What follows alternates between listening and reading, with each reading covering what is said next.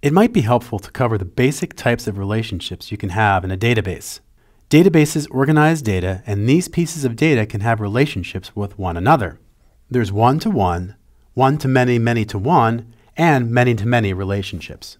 An example of a one-to-one relationship is the user and their email address. We say one-to-one because each user has one email address and each email address is associated with one user. At least in Shopping List this is how it was.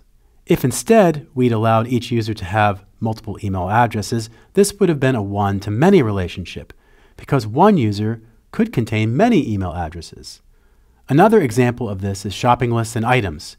Each item exists uniquely in exactly one shopping list. It therefore has one container shopping list.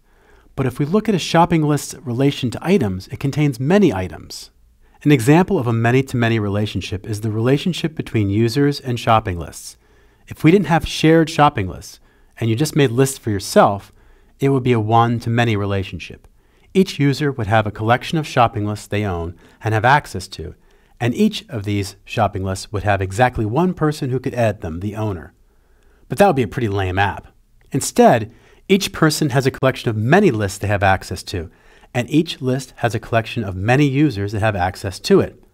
As you might example, Whereas a one-to-one relationship is pretty easy to show in your data, and even a one-to-many relationship is about as complicated as a list, many-to-many relationships get a bit more tricky.